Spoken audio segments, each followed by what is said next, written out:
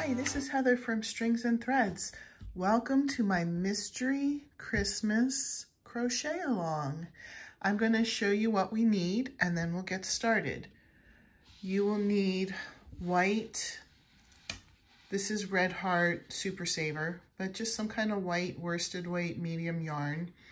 Um, I would say that this probably will be too much, but you want to make sure you have enough. If uh, uh, uh, if you had a full big skein of the Super Saver, you, you'll probably be, have more than enough, but uh, the white is what we're going to use the most of. So I gave a little, a little hint there, but I don't think that gives away too much. You'll need green, any shade, any color green that you want. Uh, same thing, this is Red Heart Super Saver, medium weight, worsted weight, whatever. Um, so you'll need a little bit of this. And same with the red, same type of dealio, some kind of medium weight, worsted weight. It doesn't have to be Red Heart Super Saver, I'm just saying that mine are because uh, that's what I can readily get in my area. So those three colors, you'll need a yarn needle, and hopefully yours is not bent like mine. I just use them until they're all the way used up. So one of these days I will probably have a piece of this in one of my projects. but anyway, that's not neither here nor there. Pair of scissors. It is going to be important to have a tape measure because everybody's stitches are tighter or looser and not quite the same, it's going to be important to follow um, measurements on this one. So make sure you have something to measure with handy. And then lastly, you will need an I, which is also a 9, or a 5.50 millimeter crochet hook. Okay, so we are actually going to start with the white for this.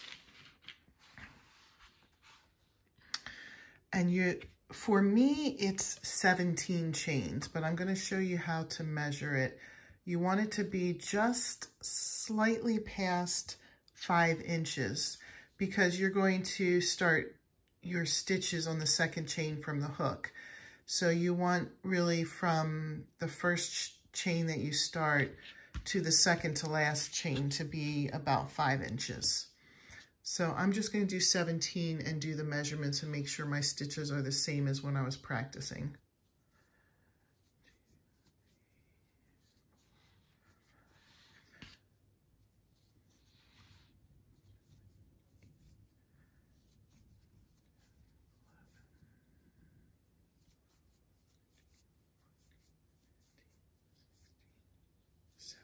And I cannot talk and do this at the same time, so I apologize if there are going to be some gaps in silence. So let me just double check this here. Come on. I believe this is, yeah, it's just one of those little lines above the five, which is good. So for me, 17 chains is what does it. So check, check the size on yours because I'd hate for it to be the wrong size. Size is going to be important. So there's another hint. So you're going to go into the second chain from the hook and single crochet across. And I'll come back when I get to the end of the row because otherwise this will be a very long video and it doesn't need to be. All right, so I made it all the way across. So now, sorry, I wanna make sure that this is in the picture. We're just going to, for each row, we're just gonna chain one and single crochet across. And then when you get to the end, chain one, single crochet across. You're going to do that until it's five inches. So this should be approximately five inches by five inches. If you're off by a, a small amount, it's not the end of the world. But you want to try and keep it close to that. So I'll come back when I have this completed five inches by five inches. All right, I have my piece finished and I already attached green. So we're going to just outline this in green with single crochets. So I'm going to chain one and I'll get you started around the first uh, maybe, maybe I'll go around the whole thing. Let's see how long this takes. I don't want this to be a super long video.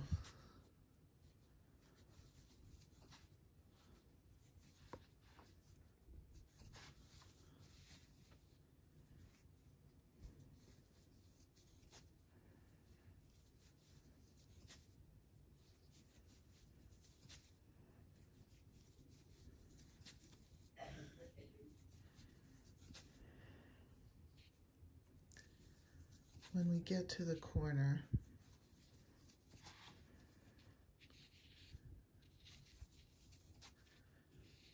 we'll put an extra single crochet in the corner. So here we go, this is the corner stitch. There's one in there and I'll put one in the same stitch. And we come around to the sides. It, you don't have the nice um, I don't know, you don't have the nice stitches that come from where you were single crocheting on the sides, but there are holes there on the sides, if you can see. So I just go in each of the holes, excuse me, and just single crochet in them.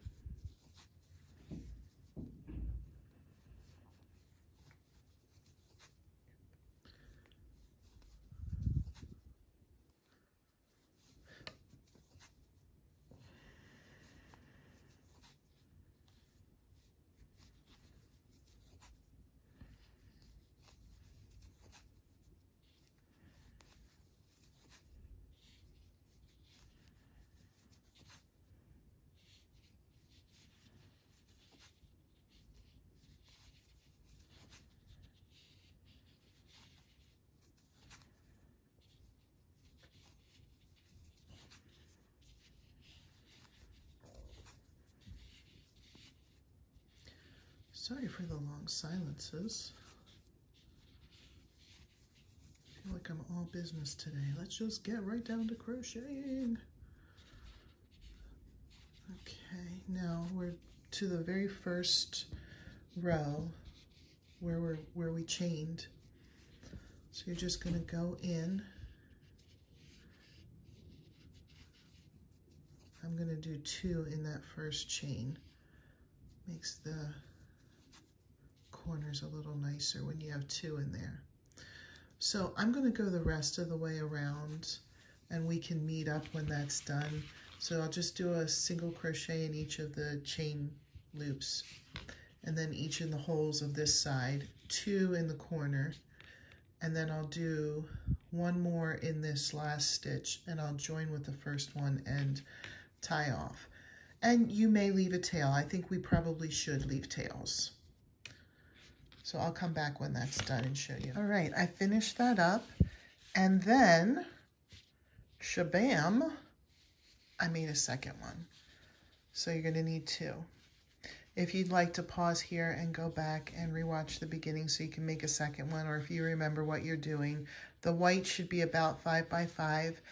Err on the larger side rather than the smaller side. If it's slightly larger than that, it's okay, just by a little bit though, because uh, if you're at like five and a half or six, it'll probably be too large for what you want to do with it. But, um, excuse me, and then put the border on. And I know the border will make it a little bit larger too, so that's perfectly fine. But try to keep it around five by five. So those are the two. Next, we're going to get the red, and we're also going to make two of the next piece. So we're going to start by chaining two.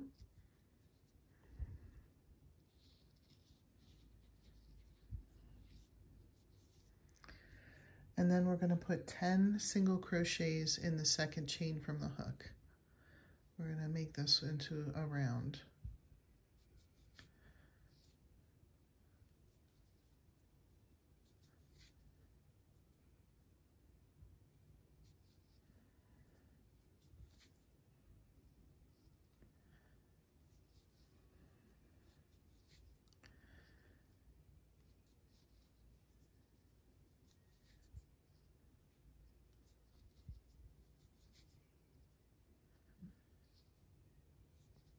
Oops, that's seven,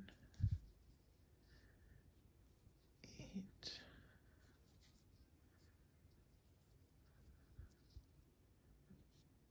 nine, oops,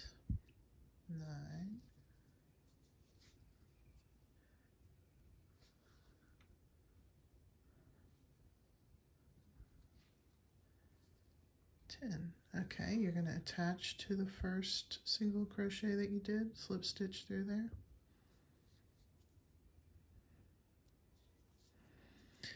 And then we're going to put two single crochet crochets in each stitch so that should bring you to 20 stitches and then attach to the first single crochet. I'll come back after I've done two single crochets in each stitch. Increase it and then you should have 20 single crochets when you're done with that. All right, so now I have 20 in the circle. So the next row, I'm going to chain one, I'll put two single crochets in the first stitch and then one in the next. Two in the next one and then one in the next. I'm just going to continue that pattern around. It will bring me to 30 single crochets and then you attach to the first single crochet. So I'll come back when I have that row done. It's two, one, two, one, end up with 30 at the end. All right, I just joined up with the first. Now I'm going to chain one and I'm going to do two single crochets in the first stitch, one single crochet in the next two stitches. Two single crochets and then one in the next two, each of the next two. And this will bring us to 40 single crochets when you get to the end. I'll show you really quick what, what's going on. So we're going to put two single crochets in that first stitch, one single crochet in the next, one single crochet in the next, two single crochets. This will be the last one I'll show you. And then one and one. One and one. All right, so fit, go ahead and pause here, finish your round and come back. All right, so you should have 40 stitches going around now, and it might feel a little bit like uh, wavy or whatever, but we're going to chain one, and we're gonna do one single crochet in each stitch around, join up and chain one with a total of four more rows, including the one I just described. So four rows of of just one single crochet in each stitch around, chain one single crochet. Um, and then I'll meet up with you again. It should be a lot flatter after we do the four rows uh, with one single crochet in each stitch. All right, so here's how it should look with the four additional rows with one single crochet in each. I just joined up with the first one with a slip stitch. Um, should be laying a lot flatter for you now. So we're going to cut a tail. So make sure you leave, this might be too much, but I have about, if you wanted to know, I have about a 20 inch tail, maybe slightly more. I just kind of did a rough guesstimate there. I'm sorry for those of you who don't use American measurements. I hope that you do have something with inches on it. Um, otherwise, I guess we'll have to figure out what the conversion is. Okay, so I'm going to put my tail through the last slip, the last slip stitch and pull. Okay, so now I have this. We're going to make three more of these, so you have a total of four of the circles. I'm going to come back and show you the next step. You'll need the green yarn for the next step. All right, I have the green here. Sorry, let me get the ca camera situated. So we're going to start by chaining nine.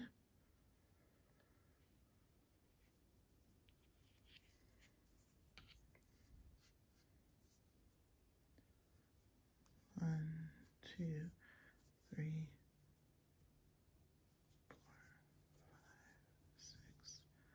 seven, eight, nine. So I'm going to wait until I do the first row here to measure it, and you can see if yours is kind of following the same measurement as mine, uh, depending on how loose or tight you crochet. So in the second chain from the hook, we're just going to put one single crochet across, so that should equal eight stitches then. One,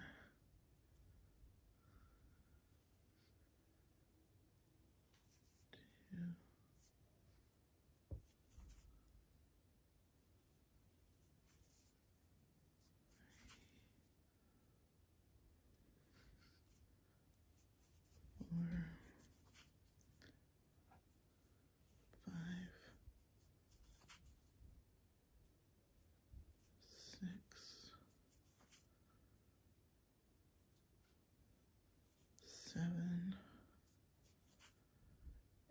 eight. Okay, so let me see about how long mine is.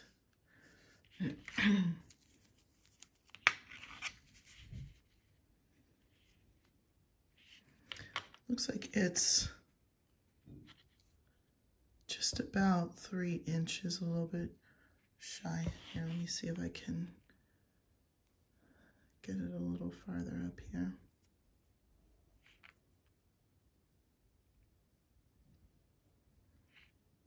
Can kind of see where mine is. If it's a little bit more, a little bit less, that'll be fine, but two inches would be too short and like three and a quarter would be too long. So I'd say somewhere between two and a half and three would be good. If you're measuring that, you can keep it. Otherwise, I'd you know, either adjust the hook or the stitch. All right, so we're going to go for the next row. I've seen other people do this. I don't know if it's a common thing or if it's just something I picked up, but I'm going to crochet my tail in. So for the first two stitches, you're going to single crochet them together. And I'm leaving my tail right in there so that it goes away. And then one single crochet in the rest of the stitches across. So you should now have seven single crochets across. Believe it or not, we're only going to have one more row in this. going to chain turn and chain one single crochet two together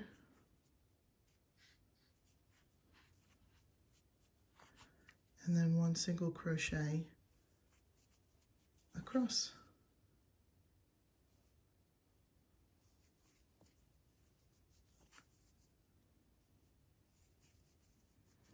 So this should have six. I'm on three, four, five, six, yep. And that's all you need for that. Finish with a, with a tail and pull through.